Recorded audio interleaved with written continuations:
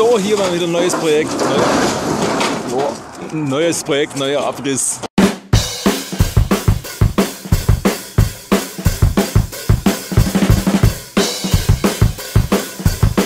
Wir haben hier das Thema, dass hier Kupfer geklaut wurde. Ja, passiert leider immer mehr, dass hier einfach irgendwo, wir sind hier auf dem freien Feld, da Kupfer geklaut wird und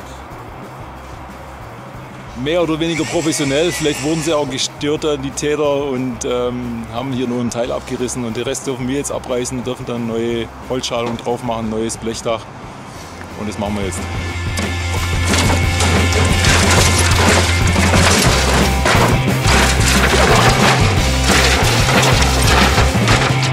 Gut, was wir jetzt hier machen, das sind die äh, Stehfalze, die werden dann abgeschnitten.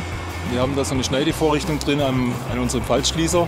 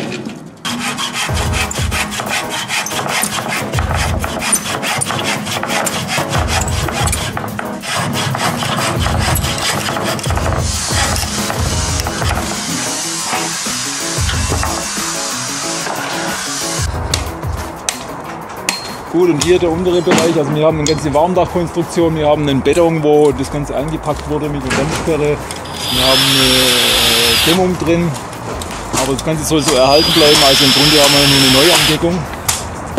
Und ähm, ja, im Grunde wird nur das Metalldach ausgetauscht und die kriegen eine neue Holzschalung, dass wir da auch wieder drauf montieren können.